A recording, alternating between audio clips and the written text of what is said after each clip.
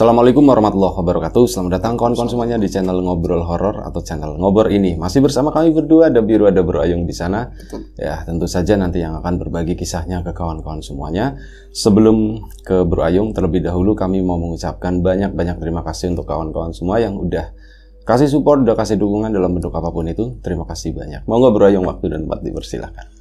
Baik, terima kasih Mas Riam atas waktunya. Sebelum ke cerita, kali ini saya pengen nyapa kawan-kawan juga. Assalamualaikum warahmatullahi wabarakatuh. Bismillahirrahmanirrahim. Apa kabar kawan-kawan ngobrol semua? Semoga semua dalam keadaan baik, sehat selalu. Dan apa lupa ya, Bi? Mm -mm. Pokoknya yang baik-baik untuk teman semuanya. Ada cerita apa hari ini? Iya. Ini ada sebuah cerita dari Bu Nur. Bu Nur, Bu Nur nama samaran ya Bi. Hmm. Itu adalah seorang ibu dengan dua anak, umurnya sekitar 43 tahun. Beliau itu tinggal di Semarang. Kalau aslinya sih orang Purwokerto Bi. Hmm. Ya dapat orang sana lah begitu.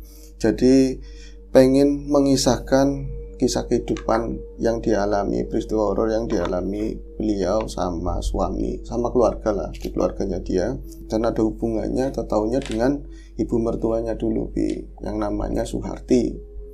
Jadi hmm apa ibu mertuanya dulu maksudnya gimana? Berarti saat itu bukan mertua. ibu mertuanya Bu Suharti, eh ibu mertuanya Bu Nur itu namanya Suharti gitu. oh, gitu. Tapi nggak dulu kan maksudnya? Ya maksudnya dulu kisah-kisahnya dulu loh. Hmm. Kayak apa? Oh. Dan ada kaitan sama sekarang. Oh iya iya iya. iya. Hmm. Oke, nah itu saya itu Mas kata Bu Nur.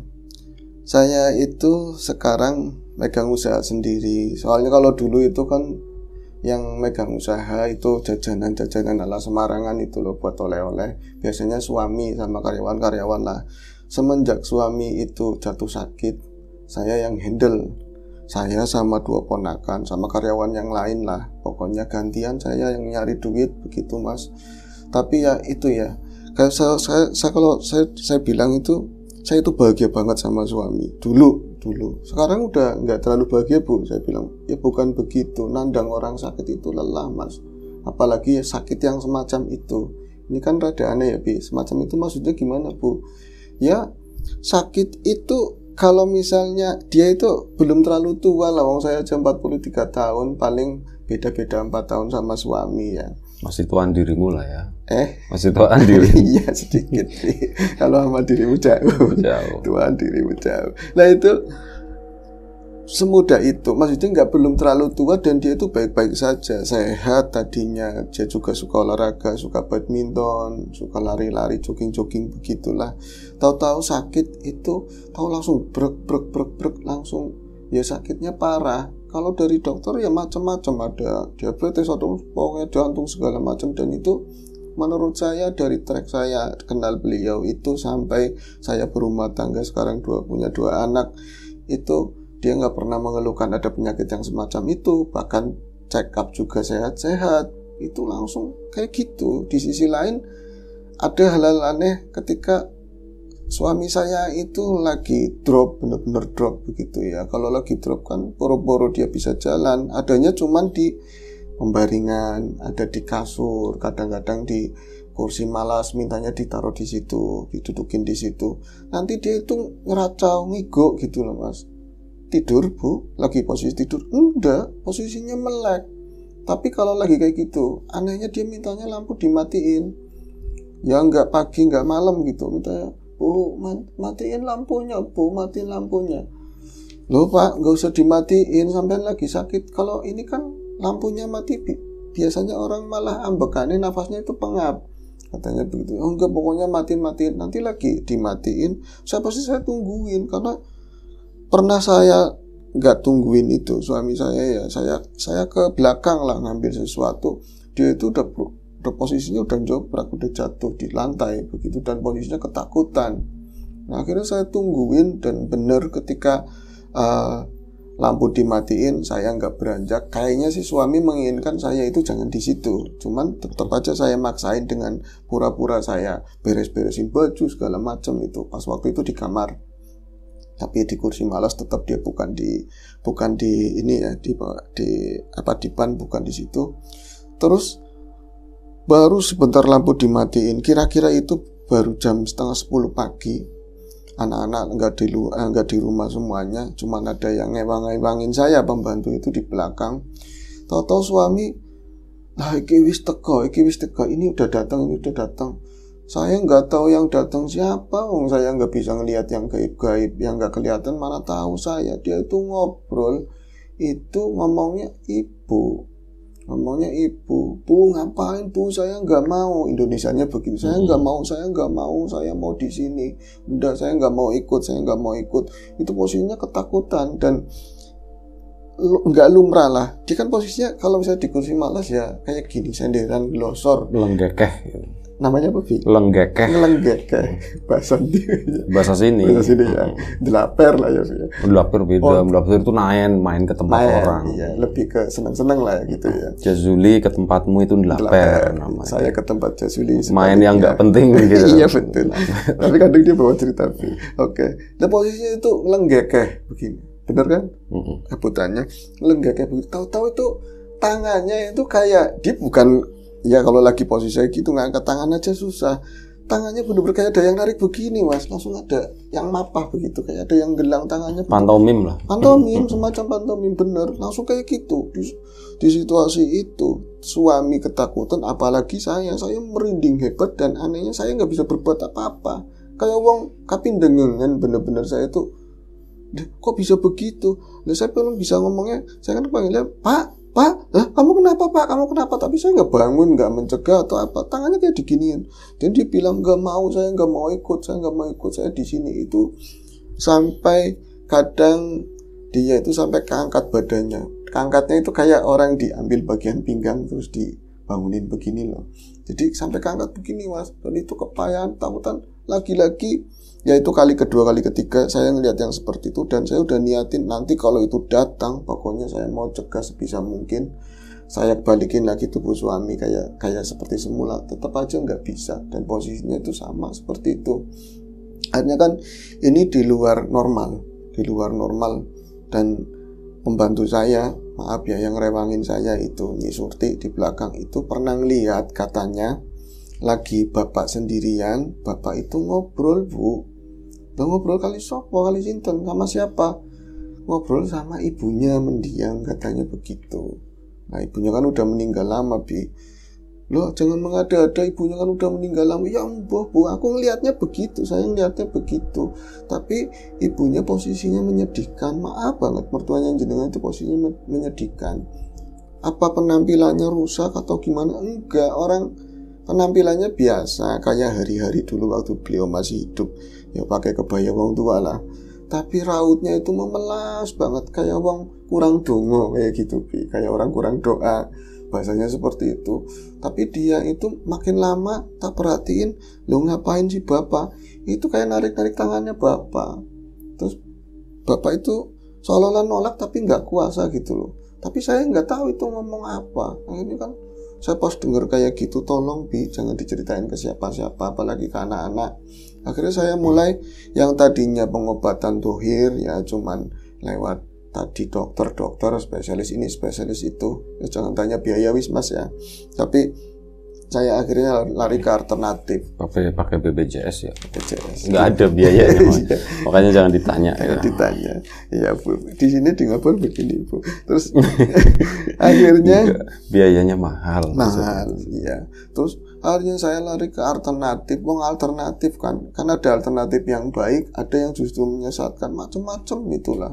Saya ya wong dengar-dengar kayak gitu dari rekanan dari kawan. Saya datengin itu sudah bayar-bayar ada registrasi segala macam lah ada kayak gitunya Vi hmm. pas saya udah ngobrol ya suami sih di rumah ngobrol katanya ini berat katanya ini berat Kata siapa? Kata si tadi dukunnya. Alternatifnya lah, iya, ya dukunnya atau simbanya. Ini berat. Posisinya ini berat, jadi sudah mengakar, mengakar dari turun temurun katanya. Ini repot, ini repot. Kalau misalnya harus saya tulungin juga rentang waktunya panjang, kayaknya tubuhnya suaminya ibu yang nggak bakalan ketolong. Katanya seperti itu. Mentah mas, tapi ya saya duit nggak bisa balik. Lagi-lagi saya datang lagi ke siapa? Ke ke tempat yang lain. Juga nggak nggak ada apa ya namanya kebaikan apa pun. Dan adanya kata-katanya semacam itu. Ada kaitan sama masa lalu ada kaitan sama masa lalu. Dan terus terang saya dulu menikah sama suami. Ya saya cinta sama suami saya sejelekan keluarganya mau bapak mau ibu mau saudaranya itu saya tutup rapat. Nggak mau tahu lah kayak gitu kan. Yang penting dia keluarga suami saya berusaha jadi mantu yang baik jadi anak yang baik begitu kan. Akhirnya dengan tadi penyele uh, omongannya beberapa paranormal yang selalu merujuk ke masa lalu masa lalu saya akhirnya mulai cari keluarga yang dipikir mungkin menurut saya itu bisa ngasih penjelasan masa lalunya itu apa apa ibunya atau bapaknya. Dalam hal ini yang ibunya sering datengin menurut pembantu saya ya. Terus suami juga katanya nggak mau ikut bu, saya nggak mau ikut. Akhirnya mungkin ada kaitannya sama ibu. Itu saudaranya ibu satu-satunya, saudaranya ibu mertua. Satu-satunya itu jauh. Posisinya itu ada di Jawa Timur, ada di suatu kota di sana lah. Itu sengaja saya datengin ke sana. Padahal orangnya sih udah sepuh banget tapi apa ya masih bisa ngomongnya masih lancar. Itu saya cerita baru baru baru datang ke rumahnya beliau itu ya dia langsung nanyain keadaan suamimu prie keadaan suami itu gimana udah baikan apa masih begitu? Padahal saya belum cerita sama sekali dia kayak tahu loh. Suami saya tuh meriang suami saya nggak sehat. Akhirnya saya nangis jawabnya ya. Ya Allah duh dikucul sirahku mas. Kepalaku itu dipegang-pegang bikin kan diusap-usap ya datangan saya ke sini itu Wak. Saya panggilnya Wak aja bisa saya pengen nanyain terus terang saya itu pengobatan udah semuanya dan hampir-hampir saya menyerah. Apalagi anak-anak wong bocah-bocah ya kadang-kadang wong ngurusin orang sakit kadang yang sakit itu emosional pengen apa itu kudu harus sekarang. Anak-anak rada jengah begitu kan. Saya lelah banget. Wah tolong saya pengen tahu masa lalunya itu. Kalau dulu saya nanyain ke Nah, kemarin-kemarin ke paranormal, ke alternatif selalu ngerujuk sama masa lalu orang tuanya, keluarganya, ada apa sebenarnya begitu kan. Akhirnya wah saya ditanyain begitu malah kondisi kondisi. Nanti dulu nanti dulu ke belakang saya tungguin lama banget. Itu ya emang saya kurang pas sih baru datang nanya kabar ini itu dulu ya makan makan atau apa saya langsung to the itu ke belakang kirain saya pipis atau buang air atau apa gitu Tahu-tahu malah di kamar nangis sambil melukin fotonya ibu itu Suharti itu loh. Apa ya tadi namanya? Ya, ya pokoknya Suharti itulah ibu ya. mertuanya. Sambil meluk fotonya itu, orang dulu kan hmm. punya foto yang gede-gede itu ada bingkai itu peluk. Ya Allah, kayak gini, kayak gini, kayak gini. Kamu sih, kamu dulu nggak nurut, kamu dulu nggak nurut katanya begitu. Nah saya ngampirin ya, gimana ya? Akhirnya karena penasaran pintunya kebuka, saya masuk saya masuk langsung saya pegang tuh tangannya wah saya. Nah posisi kamarnya siang hari tapi lampu nggak dinyalain ya tetap agak gelap. Cuman ada uh, pendaran dari luar kan rungsep mas. Banyak kebun-kebun begitu kan. Saya langsung pegang tangannya begini ke wah saya. Wah kenapa? Kalau kok saya nanyain begini sampai langsung lo ini kan fotonya mertua saya. Dia tambah namanya tambah gugup-gugup malah gara-gara kamu sih gara-gara kamu kayak foto itu ditinjuin bi cuman nggak serius begitu kan. Nah saat kayak gitu saya itu nyium bau yang tadinya wangi banget mas wangi banget. Tapi saya nggak bisa ngomong itu melati atau mawarka atau apa kayak harum-haruman gabung-gabungan jadi satu. Nyengat banget lama-lama kok jadi busuk-busuk-busuk-busuk saya mukanya yang tadinya itu ya ada depan sama si mbah tadi ya wah saya itu kayak ditarik ke samping itu di balik pintu kan nutupnya ke dalam gitu Bi saya kaget luar biasa. Di situ itu ada mertua saya, Mas. Saya nggak pernah bisa ngelihat yang goib-goib di titik itu di saat itu. Saya ngelihat jelas di situ dan posisinya kayak yang bantu saya itu ngomong. Jadi pakaiannya lusuh, pakaian guna biasa hari-hari gitu ya. Tapi mukanya itu pucat, memelas banget, pokoknya memelas. Dia agak nunduk, nangis sih enggak, tapi memelas banget mukanya. Jadi di sini kayak ditunjuk, tonjok-tonjokin kamu sih gara-gara kamu sananya kayak makin sedih gitu loh. Terus seperti kayak suami saya tahu-tahu ini apa namanya sikunya wah saya itu kayak ditarik begitu dan naik ke eh eh kenapa kenapa? Iya iya enggak enggak saya enggak saya enggak berani sama kamu. Jawab sendiri apa sendiri. Tapi kan waktu itu kan saya bisa ngelihat ke tangannya wah saya saya juga bisa ngelihat ke makhluk tersebut. Dia itu nggak ngapa-ngapain. Posisinya cuma sedih gitu loh saya sekuat tenaga ini nggak beres harus bangkit saya harus bangun. Akhirnya tak kuat kuatin dengkul kayak leklok ini mas. Langsung saya keluar pegangan pintu ya ada dia. Ada perembetan tembok yang samping sampai beberapa gantungan-gantungan itu jatuh. Saya keluar pokoknya saya nungguin di ruang depan yang terang. Saya juga nungguin keluarga yang lain. Itu ada akhirnya anaknya wah saya itu datang. Terus lah kamu datang kapan kamu? Gitu kan. Datang kamu kamu jenengan datang kapan? Udah dari tadi. Lama mana? Itu masuk wah lagi nangis kebiasaan kalau kangen sama adik sama adiknya kayak katanya kangen sama adiknya ngertinya kan begitu. Itu ada tamu malah nangis-nangis di sini. Akhirnya ketemu lagi di depan. Diceritain lah semuanya saya tentang itu siapa?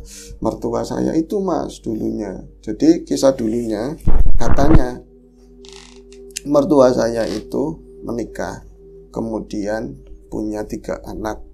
Ya bahagialah pernikahan pernikahan bahagia tempo dulu begitu kan. Terus setelah menikah tiga anak itu ada perangai suami yang mulai berubah bi katanya. Mulai nggak pulang ke rumah terus kedengeran katanya dari desas-desus sama perempuan lain. Akhirnya karena beberapa kali kayak gitu ini lalu bahasa Tegalnya itu lalu si Sapa Suharti itu lalu dia itu sering diomong sama orang tuanya, sama tetangga, sama yang dituain lah. Yang sabar, do yang sabar kamu doain, kamu berdoa doa sama Gusti Allah biar suami itu ingat kembali nanti pulang lagi ke rumah. Tapi karena mungkin lelah atau apa, dia ngambil jalan pintas katanya bi. Jadi dia itu pergi sama seseorang entah siapa katanya si kawan tapi laki-laki udah tua terus diantar ke mana nggak tahu. Pulang-pulang itu ngurung diri di kamar selama tujuh hari tujuh malam. Itu ceritanya pati geni. Puasa puasa pati geni namanya itu yang nggak makan nggak tidur. Ya kelihatannya keluarga sih apa namanya tetap pengen supaya jangan dilakuin tapi kalau udah masuk kayak ada pantangan gimana loh? Takut kena bala atau kena mantap ya wis sudah bulatnya seperti itu. Nah setelah tujuh hari pati geni itu tahu suaminya pulang benar-benar suaminya pulang. Itu jarak tiga hari. Berarti pas keluar ditanyain nanti kan ngopo kamu itu ngapain? Pakai puasa-puasa pati geni segala. Pokoknya suamiku harus pulang saya nggak redo kalau itu sama perempuan lain. Dia punya anak-anak punya saya harus pulang. Ya kalau memang takdirkan dia itu nggak sama kamu ya nggak pulang. Deleng pak tiga hari lihat dia pasti pulang. Akhirnya benar-benar pulang bi dan setelah pulang itu cuman pulang bukannya dia itu barengan lagi sama istrinya atau menjalin keluarga kaya yang semestinya cuman ngambil pakaian sama uang. Pergi untuk nggak kembali lagi sampai dia itu ya bertahun-tahun begitulah. Nah ini ketika masa tuanya si Suwardi itu mulai sakit yang parah-parah mirip kayak sakitnya suaminya Ibu Nur tadi loh modelnya. Hmm. Jadi sering ngeracau, sering apa begitu dan dia itu meskipun dalam kondisi yang parah banget, mulutnya masih bisa ngomelin orang dan yang paling serem itu sekalinya patani mesti jadi. Jadi kalau misalnya dia nggak suka keluarganya nggak nengokin atau bawa oleh-oleh itu buat nengokin orang sakit itu salah ngomong kamu besok kamu begini ya jadi kayak gitu kayak si pahit lidah tibanya jatuhnya tuh kayak gitu nah berlangsung lama berlangsung lama penyakitnya nggak kunjung sembuh tapi cuman getak di kasur akhirnya ya memang ajal harus menjemput. Itu prosesnya lama banget mas. Kata wah saya karena saya nggak lihat kematiannya waktu itu. Nah terus uh, itu katanya ada kaitan sama ilmu tadi yang dia pelajarin itu yang ngalang-ngalangin proses uh, dia perginya. Itu menurutnya wah saya. Dan itu sosoknya katanya udah kelas tinggi lah barang-barang kayak gitu kelas tinggi. Jadi dikeluarin waktu itu aja sampai ngundang kiai sepuh daerah situ baru bisa bisa keluar. Tapi seingatnya uanya ada cerita dari bapak begitu dia bakal nurun keturunannya. Nah keturunan saya masa suami saya? Masa saya percaya percaya nggak percaya ya. Saya dapat kabar begitu yang penting saya saya dapat ceritanya. Tapi masalah saya percaya atau enggak terus terang saya nggak percaya dan saya nggak mau percaya akhirnya wis pokoknya wong namanya orang tua saya bawa uang ya saya kasih oleh-oleh inilah buat jajan buat beli kinang saya langsung pulang. Saya langsung pulang itu udah jatuhnya udah sore. Terus taruh saya sampai Semarang itu jam berapa ya itu udah udah larut. Mampir-mampir segala kan itu posisinya di rumah itu sepi nggak ada orang sama sekali dan lampu depan pun mati itu bibi. Kalau misalnya anak saya itu keluar pembantu saya aturan nalar dia juga pulang bukan yang full di situ tiap hari. Kalau sore hmm. pulang tapi dinyalain dulu atau gimana? Di samping kelihatannya sepi juga. Saya itu kan cuman diantarin supir ya. Supirnya bukan supir pribadi saya sabutan lah. Ya, mobilnya dia juga. Cuman tetangga begitu. Sampai sini aja ya bu. Nggih maturun saya masuk. Saya masuk ke pelataran rumah sendiri kayak rumah yang asing malam itu. Rasanya kayak rumah yang asing. Ya bentuknya sama tapi suasananya itu mencekam banget rasanya kayak gitu. Cuman bisa lampu ini nggak dinyalain sih. Saya ke depan pintu itu tak buka nggak bisa. Berarti terkunci. Dan dengan nggak bawa kuncinya. Bawa mas tapi nggak lagi kayak gitu. Kayak nggak connect semuanya gitu loh. Saya nyari aja pintu samping. Jadi ke samping saya jalan ke samping nah di depan pintu samping itu ada mungkin kayak gini ya kursi penjalin atau rotan. Di situ ada seorang ibu-ibu tua sama seorang kakek-kakek duduk. Berarti ada meja meja seperti ini mungkin persis di situ. Mereka nggak ngobrol diem-dieman dan saya nggak kenal sama sekali dua orang itu. Tapi wujudnya yang kelihatan manusia saya petang-petang gelap-gelap saya wani lah ke situ ya dari lampu rumah tetangga atau apalah saya bisa melihat mereka itu jelas nyai-nyai kaki-kaki saya langsung uluk salam assalamualaikum nggak dijawab nggak dijawab salam kok nggak dijawab ya headphone mungkin pakai headphone. Jadi nggak dengar. Pantas kalau katanya begini-begini kan mungkin ada alunan apa. Enggak sih, cuman kemungkinan bisa jadi. Assalamualaikum saya sampai nyebut tiga kali dia nggak jawab. Aduh, kok assalamualaikum aja nggak jawab? Apa dia bukan muslim ya? Tapi ya kalau bukan muslim atau siapa dia bukan keluarga saya. Saya nggak kenal sama sekali. Dari wajahnya, dari ininya saya nggak pernah kenal semuanya lah pokoknya. Terus akhirnya saya ngomong, Mbah, ngapunten Mbah, Maaf, jenengan itu siapa? Kok ada di rumah saya? Kok duduknya di sini? Lagi pada ngapain? Saya bilang begitu. Mereka itu kayak asik dalam mendengarkan lagu mungkin ya. Hmm. Mereka bukan saya lagi saya datang pun nggak ngelihat ke saya sama sekali. Ngelihat ke satu sama lain berdua juga enggak. Kayak dalam pikiran masing-masing begitu loh. Pas saya ngomong begitu, kayak bareng-bareng kedua itu ngelihat saya Ya Allah, saya itu kayak lu rontok kabeh. Dalam artian lemas, lemas banget, lemas. Karena apa mas? Pas melihat itu, saya ngelihat muka renta yang gelap-gelap suasananya kayak gitu. Tapi yang saya yakin di matanya itu cuma ada hitam-hitamnya toh. Gak ada yang namanya bola mata atau apa saya. Dua-duanya itu kayak kayak saya dicapik, cek, melihat ke arah saya, saya langsung rontok. Ya Allah, Sampai siapa? Sampai siapa? Sampai kata-kata kotor saya keluar semua waktu itu. Saking marahnya mungkin kependem sama lama begitu ya. Sampai siapa? Oh, pada minggat, pada minggat. Itu mereka bukannya bangun begini. Ser, sama sama bangku-bangkunya katanya Bi. Kok bisa kayak gitu Bu? Iya sama bangku-bangkunya. Mas cuman geser. Mejanya nggak ikut. Hmm, bu lupa. Yang jelas sama bangku-bangkunya posisinya masih sama. Dan saya cuma bisa mematung begini saking ketakutan. Lama-lama tubuh mereka berubah. Tubuh mereka berubah. Itu kebanyakan saya lihat sih belulang, hampir kayak belulang. Cuma ya ya tua sama. Cuman tadi pakai baju sopan, ini ketelanjang semua gitu lebih. Modelnya kayak gitu. Dan yang tadi pecian, di peci itu nggak ada, cuman rambut panjang putih-putih pada jatuh. Matanya hitam semuanya. Apalagi yang nenek-nenek, wah harus pada botak semua. Saya itu nggak bisa menguasain diri saya jatuh. Pagi-pagi udah anak ada anak saya sudah ada pembantu saya bahkan tetangga juga ada. Terus anak saya juga bawa kawan ngajinya dulu katanya jadi ustadz begitu kan. Nah saya nggak ada yang ditanyain kecuali suami bapak mana? Bapak kenapa? Napa apa enggak? Bapak waras apa enggak? Akhirnya saya digotong-gotong dibaringin bareng sama bapak. Itu posisinya dia udah kayak sakaratul maut. Jadi udah cekik-cekik lama kayak gitu. Saya juga lagi kepayahan uang pingsan. Saya pernah pingsan katanya tapi bangunnya nggak kayak seperti ini. Ini kayak habis digebukin. Bener-bener saya itu sakit semua dan nafas itu susah banget. Kayak saya pengen pak sampean kenapa? Sampean posisi kok jadi kayak gini? Nggak bisa mau ngomong itu nggak bisa. Akhirnya ya saya didoain dikasih minum sama tadi Pak Ustad di apa namanya disuruh sabar yang ikhlas sabar. Yang mau ikhlas apa? Ternyata ikhlasin suami. Hmm. itu nggak lama saya agak digeser didudukin sama anak-anak saya di depan saya. Suami itu meninggal. Nah itu. Akhirnya ya kerabat pada datang. Yang dari Jawa Timur nggak datang sih memang saya juga memaklumi karena situasi ya keadaan waktu itu. Pemakaman selesai terus malamnya tahlilan pas jam sembilanan nah saya didatangin seseorang pakai peci. Mirip banget mukanya kayak yang matanya hitam itu loh. Tapi sendirian kali itu. Dia datang kayak orang mau tahlilan tapi terlambat gimana sih?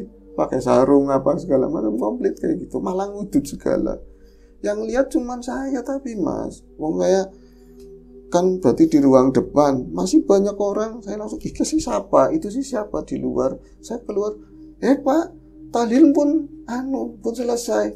Dia cuman senyum. Dia cuman senyum tapi senyumnya senyum jenggeli mas. Bukan senyumnya orang ramah atau dia itu orang baik. Saya nggak menangkap itu. Lebih kayak nyeringai kayak ngeledekin kayak gitu loh. Itu saya lagi mau ngomong begini jenengan ini katanya ngomong ya tata lain sudah selesai. Jenengan itu siapa? Mau ngomong siapa? Belum selesai. Itu tahu taunya ustad yang nah, temannya anak saya langsung ini apa yang sudah di apa tasa apa tasa cimako cimako tuh terus sesuatu terus langsung saya sih orang nggak ngeliat apa ngeliatnya cuman ada surban yang itu di, di bunyi begitu terus makhluk itu nggak ada. Makhluk itu nggak ada. Bu lepet tuh ayo bu lepet lepet lepet aduh kok kayak gini aduh kayak gini. Akhirnya dijelasin. Itu ya pas orang-orang udah pada sepi ini salah satu dulu yang jadi pujaannya. Bu Soeharti itu dulu lebih buat membantu ketika mulangin suami. Ya kayak gitulah.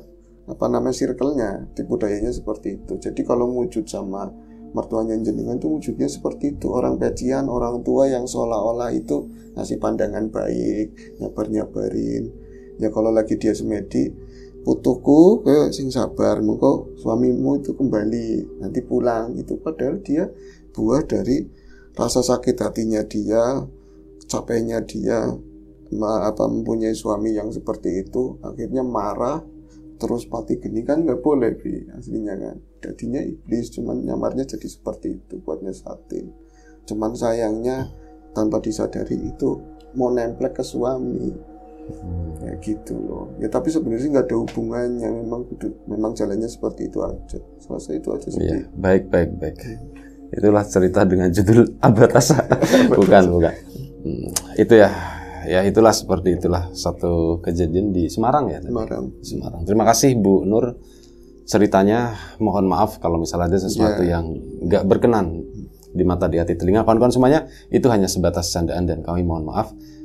Sekali lagi terima kasih Bro Ayung yang sudah menceritakan dengan sangat baik. Kawan-kawan di rumah juga terima kasih banyak atas waktu dan tenaganya.